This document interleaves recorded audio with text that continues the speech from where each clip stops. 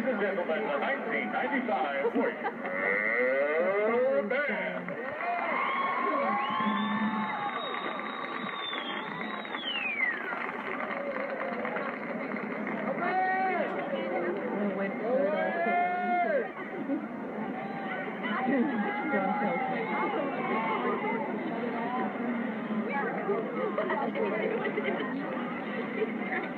Don't.